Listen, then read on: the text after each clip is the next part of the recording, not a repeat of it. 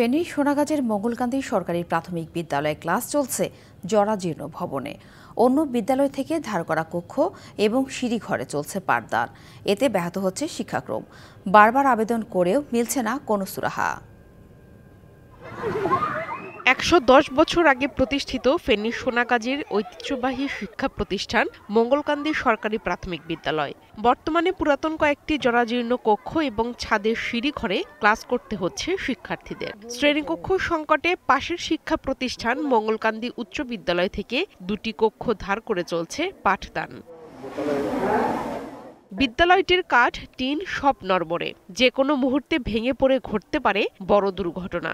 আমরা এখানে সিঁড়ি রুমে গাদাগাদি করে পড়ালেখা করতেছি। এখানে রুমটা অনেক ছোট গরম। আমাদের তিনটা ফুটো আকাশ দেখা যায় আমার বৃষ্টি হলে আমাদের বই খাতা ভিজে যায়। ভবনটা ভাঙা চূড়া আমাদের এখানে বসতে কষ্ট হয়। আমাদের স্কুলের পাশে পুকুর এখানে আমাদের পড়ে যাওয়ার ভয় থাকে।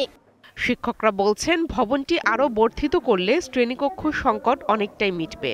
অন্যান্য স্কুলের তুলনায় এখানে শিক্ষার্থীর সংখ্যা বেশি তাই এখানে দরকার একটা ভবন। আমাদের যে পিরিবিছিয়ার ভবনটা আছে এখানে আমরা একটা শুধুমাত্র দোতলা বর্ধিত হলেও আমরা আমাদের শিক্ষা কার্যক্রম ভালোভাবে চালিয়ে যেতে পারব।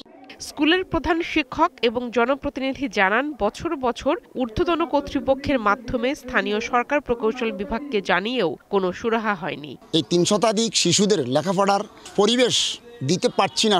বিদ্যালয়ের শ্রেণীকক্ষ জরুরি ভিত্তিতে প্রয়োজনের আবেদন করছি।